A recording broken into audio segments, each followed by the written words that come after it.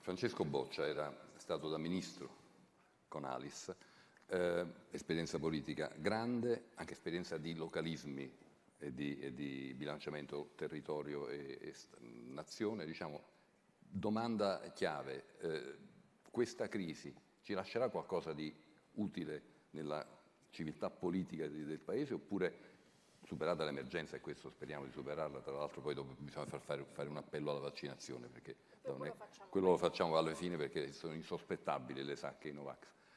Ci sarà un passo avanti oppure alla fine vabbè superiamo l'emergenza e poi ci riprendiamo a prendere, darcene di santa ragione come... No, ogni crisi, da ogni crisi viene sempre fuori eh, qualcosa di buono nonostante la drammaticità della crisi. E io penso che ci siano eh, due principi eh, che sono diventati patrimonio collettivo nel nostro paese e, e penso anche in Europa. Eh, il diritto universale alla salute, così come il diritto universale alla scuola, io penso che non ci sarà più una forza politica in Italia che potrà sacrificarli sull'altare di vincoli di bilancio. E, e questo purtroppo viene fuori dalla drammaticità vissuta da ogni famiglia italiana e da ogni famiglia europea. L'Europa stessa ha imparato la lezione. Ora si tratta di capire se la politica italiana ha imparato la lezione del Covid e io qui ho qualche dubbio, lo vedremo. E tre anni fa due forze politiche non vinse le elezioni nessuno a causa di una pessima legge elettorale che nonostante fosse stata presentata dal mio partito eh, io non votai e dissi perché non, non andava votata. Ma prevalse in quel caso eh, diciamo, la parte più misera della politica, di chi pensa di sopravvivere cambiando le regole del gioco all'ultimo momento. Ora mi auguro che si possa cambiare questa legge elettorale tutti insieme, vedremo se ci saranno le condizioni. E mi auguro che dopo non si debba toccare per i prossimi 30 anni, come succede nei paesi civili. Eh, però due forze politiche quelle elezioni diciamo, le vinsero rispetto agli altri, non le vinsero per governare, il Movimento 5 Stelle e la Lega. Il Movimento 5 Stelle e la Lega tre anni fa erano due forze che insieme condividevano un anti-europeismo, che non era di facciata, era di sostanza.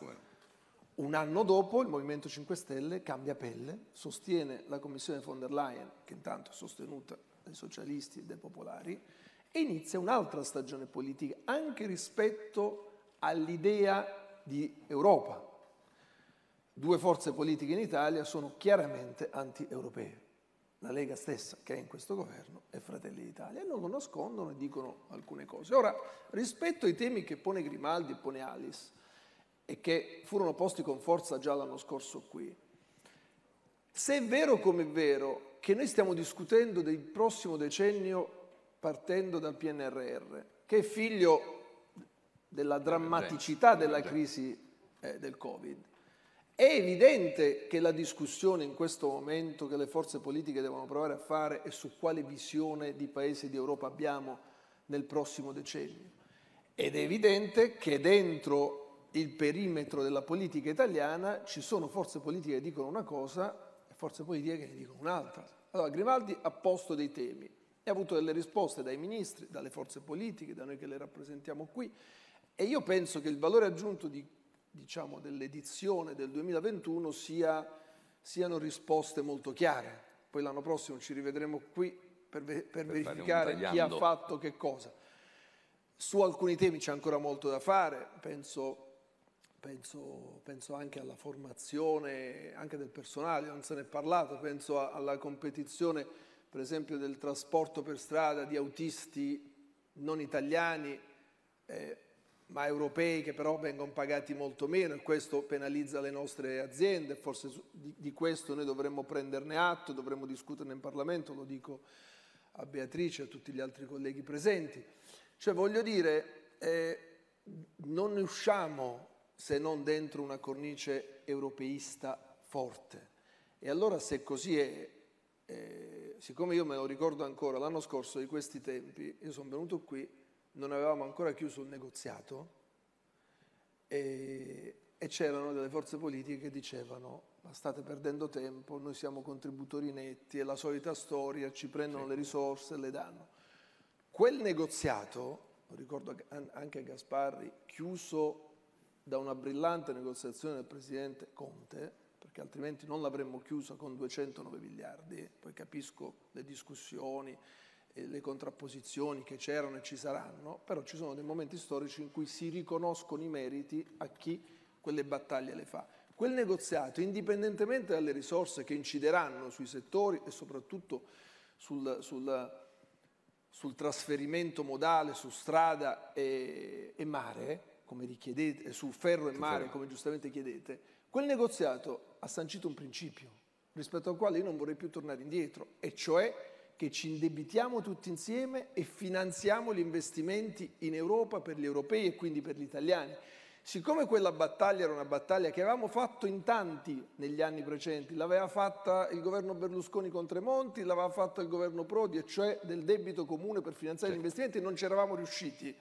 Diciamocelo per una volta che, che stavolta ci siamo riusciti e che la spinta è italiana. Non mi ricordo chi prima in uno dei dibattiti rivendicava, forse eh, in un passaggio Porro eh, o lo stesso Grimaldi, rivendicava i risultati che riusciamo ad ottenere. È un nostro risultato. Il recovery è un'operazione tutta italiana, ovviamente fatta in asse con la Germania e la Francia, perché se non c'è quest'asse tra Germania, Francia e Italia, non c'è l'Europa. Allora rivendichiamolo.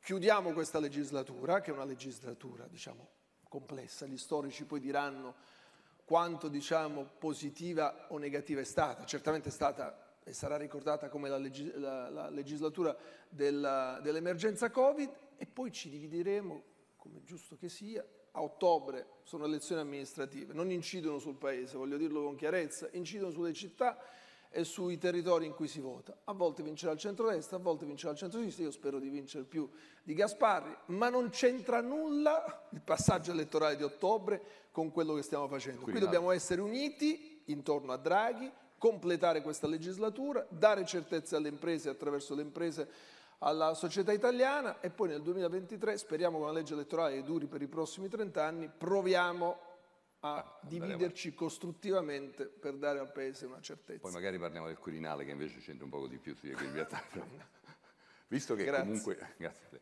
il quadro politico è fatalmente eh, eh inedito e